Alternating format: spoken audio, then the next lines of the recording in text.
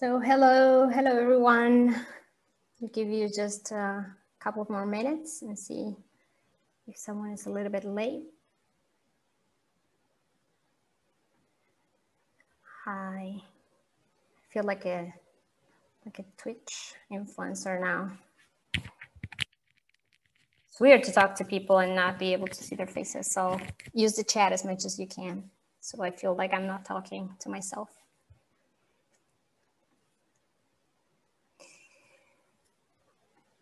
Can you hear me well?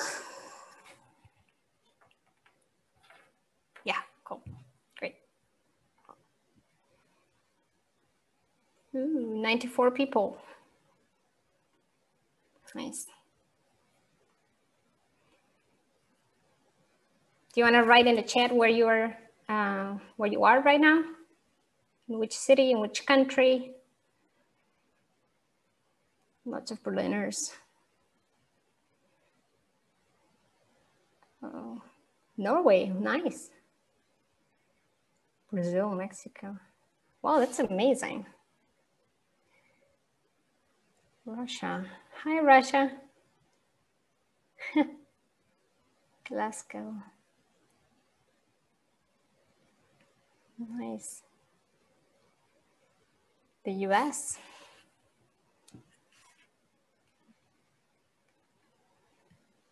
Wow, this is amazing. Cool. So I'll give you one more minute and I'll start answering this, trying to answer this question, which is a little promising.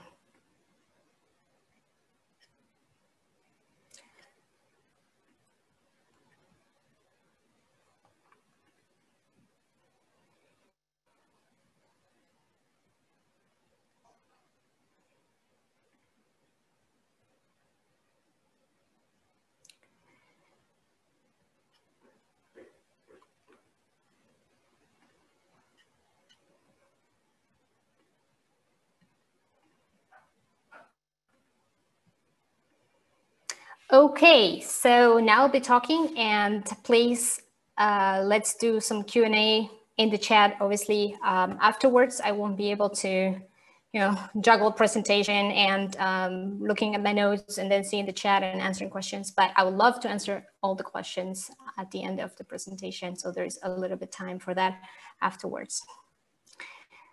Right, so hi everyone.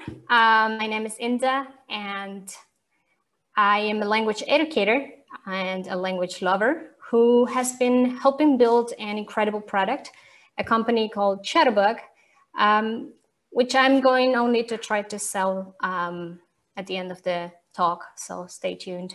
I won't bother you with, you with that um, until the end. So early this year, um, when we all heard um, the news about this novel coronavirus, little did we know that we would see this.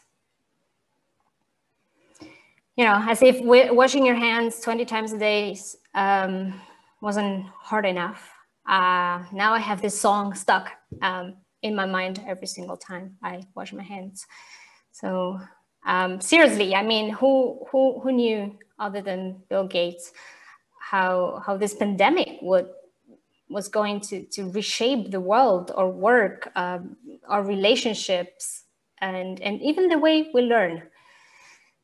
So in March this year, we were already in on, on lockdown here in Berlin. And, you know, I'm an introvert. So I was like, yeah. I couldn't but fall into this sourdough um, bread trend. I also did learn, as everyone else on Instagram, how to make it. Um, I also bought some workout equipment. I ordered several books. I prepared myself for my quarantine boot camp, right? So I finally had the time to catch up with um, all these long-standing personal projects I've had for a while, and um, I, I, didn't have to do so many things um, now, like you know, getting ready for to go to the office, an hour a day that's that's you know five hours a week that's a book a week you can read. I, I was i was uh, very excited about this. Um, i also wanted to improve my painting skills. I wanted to learn how to play the ukulele so i bought an ukulele. Um, yeah, lots of lots of projects. Um, so in short, I, I, I worked out, I improved my diet, I read several books, and most importantly, I learned how to make bread. Um, so basically, this presentation is over. Go enjoy your quarantine, right? that was obviously all I intended to do. Um, and I did for a few weeks. Um, this is the nice thing about motivation that you know it makes you dream big and and and, and do wonderful things um, for short periods of time. Um, so after a few weeks of uh, streaks, I yeah I found my marvelous uh, routine interrupted by well these exceptional circumstances that are kind of putting a test on our sanity. Um, and then I read this brilliant piece of advice. I don't know if you can see it. Experts recommend keeping uh, daily rituals, um, even when you're working from home. So I was like, okay, this is brilliant. Um, during the April lockdown, I was determined to not succumb in, in to these long PJ days. You know, when you when your leisure and work just merge into one. Um, you're talking to your family and at the same time you're online shopping. Uh, you clean during working hours, you work during sleeping hours, uh, you shower only on Sundays, you know. Um, I was like, what, what is it that would make me stick to all these personal projects I had? But most importantly, like how come we find the determination and the commitment to do things we have been doing for a long time, right? So washing our hands is a good example, right? It's not fun. Um, and it's funny how we get um, used to doing this stuff without, without questioning them. Habits involve no decision making. And this is why they are so powerful and so great. You know, researchers have been uh, uh, studying decision making for quite a long time, and and they're all in agreement that decision making happens mostly in your emotional brain. So every time you have to decide whether you should um, you should do something or not, chances are that you might end up not doing uh, the most rational uh, thing and not making the most rational decisions. It's the powerful habits uh, we should be chasing and not motivation after all.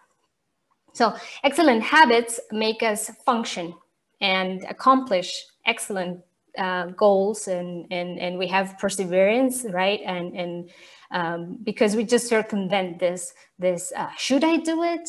Um, we just do it, you know, Nike knows that and they write it all the time. So if you are like me, struggling to keep your sanity in times like this, let me suggest you focus on creating healthy, healthy habits for, for your mind, for your routine. Um, and as a result, you'll be more productive and happier too. Or so they claim, right? So let me share with you my uh, five, my top five um, language learning hacks, because I mean, this is a language conference, um, or habits, if you will. So hack number one is talk to yourself in the language you're learning. One thing I've noticed is that 10 years ago, I was much more used to be with my thoughts and I would practice German in my mind all the time. But then I got an iPod and music followed me everywhere I went. And then Spotify and social media, you know, started feeling almost every silent minute of my day. And I was waiting in line, you know, scrolling Instagram, uh, running with headphones on. Um, when taking a shower or cleaning, I was um, listening to some podcast or TED Talk um, that, I, that is supposed to, you know, to make you wiser, smarter, uh, more woke. Um, so I then realized, damn, I'm listening to everyone, uh, to everyone else's uh, thoughts and ideas and and and but never my own um, so i don't i don't give myself the silence um, that will help me talk to myself uh, process information and and and you know come up with the creative ideas and solutions of my own so rather than talking about um, what to do really I'm going to ask you one thing. Don't you miss being with your thoughts uh, as you used to be before the mobile phone was capable of, you know, filling every free minute of your day with content? I sure did. And then I started uh, carefully choosing when to listen to others and when to listen to myself. And I went back to the habit that I really enjoyed, which was talking to myself in a foreign language. So try it, it's free, and you will be surprised how much you improve your language. Hack number two, schedule time to learn. I mean, this is not a, a, a massively surprisingly thing. Um, you know, nutrition experts, for instance, tell you to plan your meals ahead of time, right? Because turns out when you're hungry, uh, you don't make clever food choices. Makes sense, right? Um, so same with learning. If you don't schedule to learn, you'll find a million other things to do rather than learning, obviously, um, especially now that you're home. Um, so there is plenty of research um, supporting this theory too. Um, one of my favorite uh, ones is um, is one where where the they took 248 participants. They divided the group in three, and and then they all the participants were asked to exercise more regularly, right, over a course of two weeks. Group number one called the control group, they had to track how much they exercised. That was all they had to do.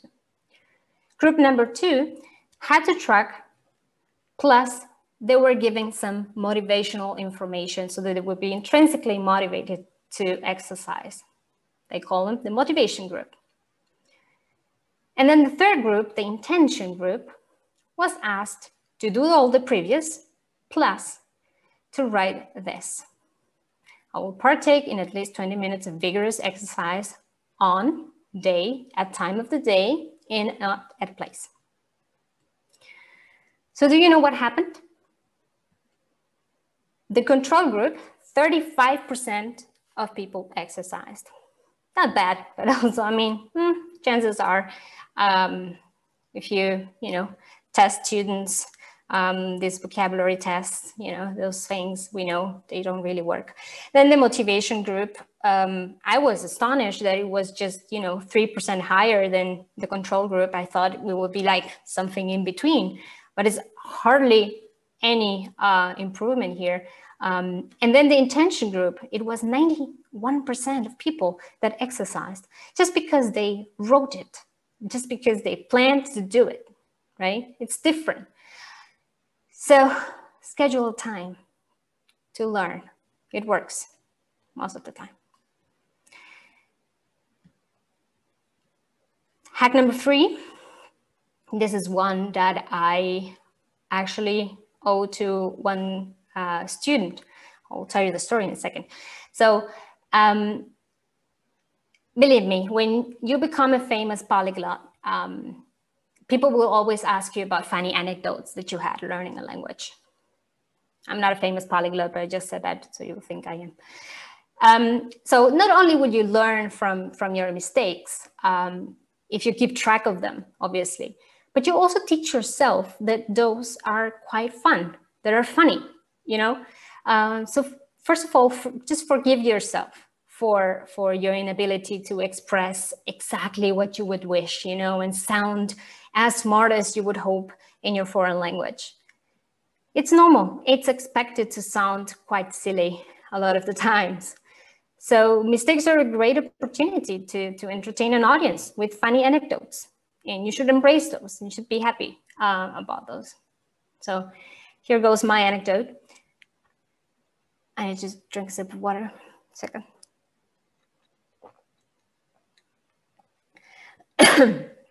So I was teaching English in Brazil back in 2016. And I noticed one of my students uh, looked sad all day on that day. Um, so after class, I asked him, hey, are you okay? And he says, no, I got laid. So I was shocked, obviously, and a little concerned about how, you know, inappropriate that conversation was turning all of a sudden. Um, and then I answered like, I don't think I understand, but I'm also not sure I want to understand. And and then he was like, you know, he didn't really. And then he was like, well, my boss told me today I will get laid. so it was getting out of control very quickly you know? Was he was he like reporting sexual abuse? I um i, I feel you know i was like should i call the police? Uh, I, I don't know. And then i realized my god to my really greatest relief um, that he meant laid off you know phrasal verbs. Um, so i feel bad i got relieved. I mean poor thing he lost his job but i was relieved in that moment um, so a few weeks later, he um, he was doing better already. So I explained to him the misunderstanding, and, and we laughed so much, and it was all fine. And then and then he told me, um, "Oh, that's that's going to my mistakes diary." And and he said, "You know, I keep track of the things like this because I think they're funny, and I want to remember them for later." I was like, "Oh, that's brilliant! That's such a great idea!" And I have been telling all uh, the people I, I, I, you know, I've ever taught, I've, I've told them this, this story because I feel that this is, is such a great attitude um, towards learning a language. And this is how, how it, you know, you are going to make mistakes. Either you choose to laugh and, and to embrace them, or you choose to get frustrated and, and, and obviously you won't enjoy learning a language then. So keep that in mind. Finally, Hack number four, create a learning space. And by space, I mean anything, really. It can be a space in your mind even. I'll give you a couple of examples for those. So first of all, if you want to create a habit, um, or you want to avoid the bad habits that you have, you need to understand how habits work in our minds, you know, how, how they're triggered. Um, I've been reading about this um, so I'm going to share with you a very compressed version of it. Um, let me share you with you an example. So um, we are all pretty familiar with bad habits most of the times. So walk into the kitchen and opening the fridge just to see what's in there. Even, even if you just had lunch, right?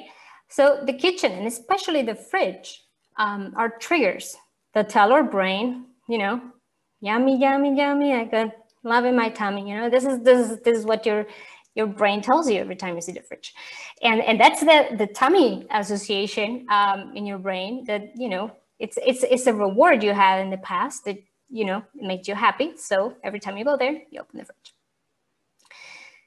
So the fridge is the trigger um, for the happy tummy, and the habit is created. You keep coming. It's a routine and it's a, a very unconscious one sometimes. Every time we grab our phone, happens the same, right? Look, most of us um, open social media.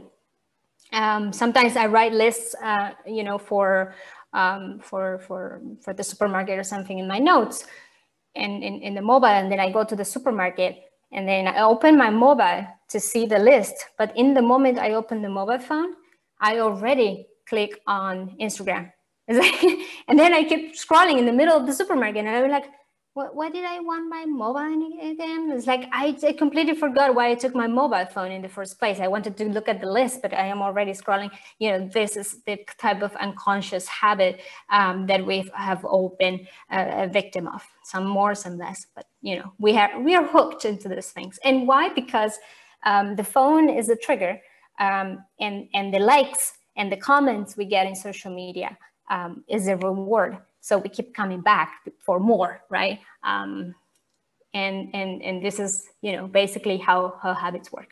So um, the reason why our homes might be the most you know the hardest place to be in times of the, like this is because we have so many triggers there and the thing is that a lot of the triggers we have at home are not necessarily associated with hard work and exercise and efficiency um, because you know before covid um, most of people didn't didn't have to be highly productive at home So home used to be, for many of us, um, associated with free time, with rest and enjoyment. And um, I mean, if that's not for you, then, then you need new neighbors. Um, so now our home is a multi-purpose space, right? Like uh, you might use your kitchen counter to, to, to chop onions and to do some table push-ups and, and to have some Zoom meetings, you know? Um, so no wonder our brain is, is, is all over the place, right? Um, so many associations fighting each other all the time. Um, and, and, and, and how can we use the triggers to our advantage? You know, we should. So there are different types of triggers, first of all. Um, the location-based ones, obviously the kitchen will always be associated with food. But then there are also time-based ones and people-based ones. You get the idea, anything can be a trigger. So here are a few ideas you can implement to learn from home and create some nice new triggers for your learning habits. So the one with the learning space, um, it's I think it's, it's, a pretty straightforward one. Um, you know, a place where you use it consistently for learning. Um, could be a desk, but also a standing desk because studies have shown that lots of people perform better when they're standing. Um, they're, they're cognitively better. But you can also use sounds. You can use music, smell, um, anything to create a ritual um, and tell your brain you're about to start learning, right? Your favorite tea, um, your favorite wine. Um, be careful with that one though. Um, so Pavlov, you know, the, the I'm sorry, the, the, the teachers um, among the audience might know this story already. Pavlov was a researcher and, and he, um, he was using his dog, basically Pavlov's dog, to prove a theory he had, which is called conditioning, right? Like every time he would give food to his dog, he would ring a bell. And after, after having done this uh, many, many times, um, he would ring the bell and the dog would start drooling already. Um, so basically, uh, the salivation of the dog was the proof that, um, you know, the dog had made the association that the bell was, you know, synonymous to, oh, food is coming.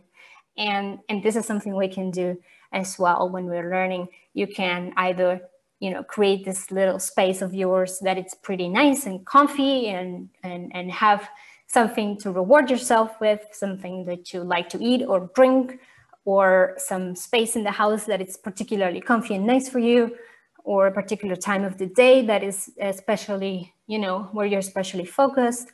So there are lots of things you can do to create those nice triggers. I'll give you an example of how creative those triggers can be. Um, so when I was a student, I had this nine square um, uh, meter bedroom. Uh, it was it was tiny, really. Uh, and and then I shared a flat with uh, with three other boys. So um, they were my friends, so it was uh, it was pretty great time. But um, I had to be creative, you know, to to be a good student. And I remember once I had to memorize 600 Latin words in, in, in, in, two weeks. I had two weeks to, to do that. So I graded flash, um, you know, the, the paper flashcards. Um, and then I went uh, for a walk in the park every day, two hours a day to go over them. Just in the park, I was walking and going through my flashcards. And I created this little habit and I was almost looking forward to it because I really love this park. So the park became the trigger for my learning and also my reward at some, at some point. And what I did was basically avoid all the triggers um, that would prompt negative habits. Um, like, you know, every time I saw the face of one of my flatmates, I wanted to watch Dr. House. So I just escaped the house, you know. Um, I used uh, a new location, basically, to create a new association and a new routine. And yeah, I learned those horrible words and then I forgot them um, two weeks later, but it worked. And then finally, the hack number five is ta-da. Um, I'll talk a little bit about Chatterbug just because I love it, not because I have to. Um, when, I mean, when did language learning become so crowded in the first place? Um, crowded with choices. I bet you feel like you're not taking advantage of all the resources out there.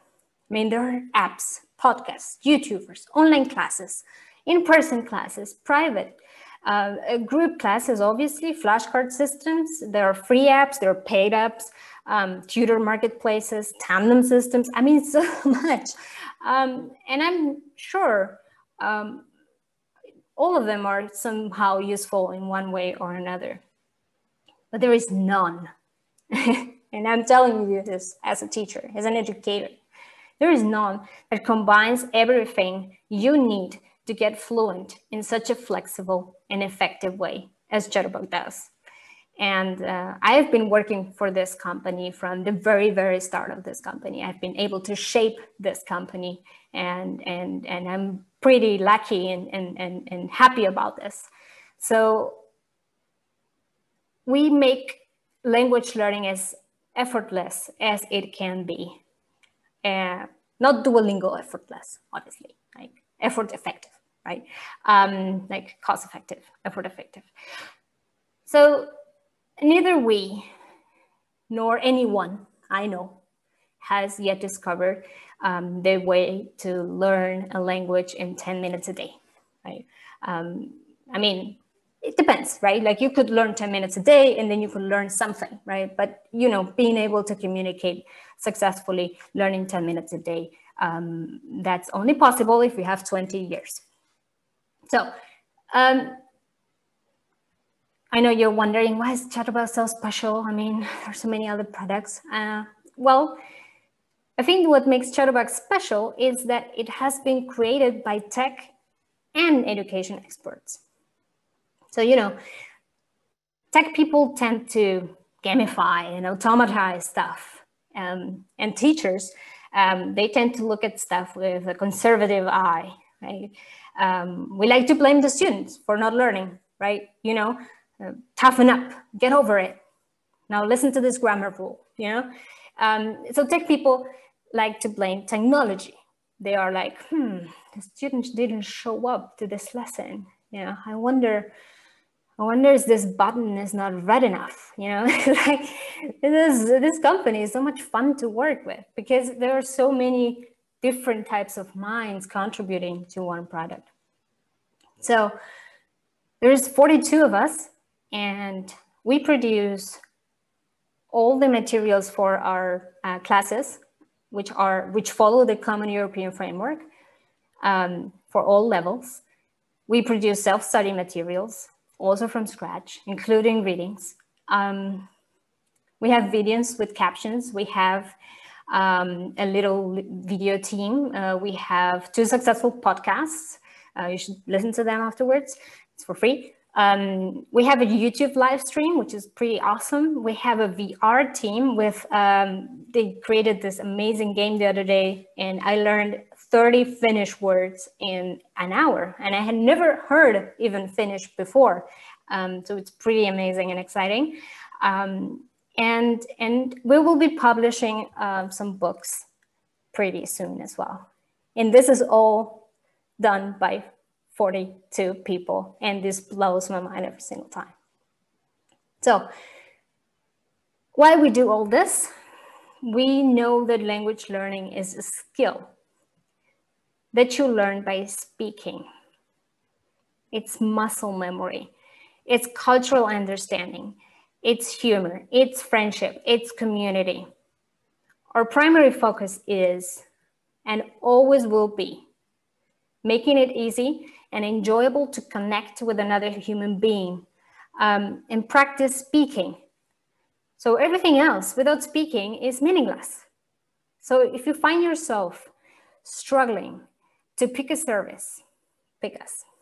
I can guarantee. If you don't like it, uh, send me an email, please. I'll make sure that um, I take all your suggestions. So how is this talk going to help you not lose your mind uh, when learning from home? Not very sure, but you know, that title sounded very catchy. Um, but I really want to share with you uh, a really nice quote from, uh, Mihaly Csikszentmihalyi. I think this is how it's pronounced. I even texted my friend today. She speaks Croatian. I was like, hey, can you send me an audio? I want to pronounce this name. Um, so anyways, he wrote this book called um, The Flow State. And, and I really love this, um, this quote, which I'm going to read. Uh, the best moments in our life are not the passive, receptive, relaxing times.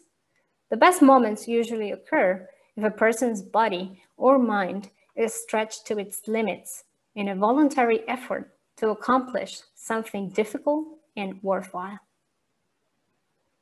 Thank you.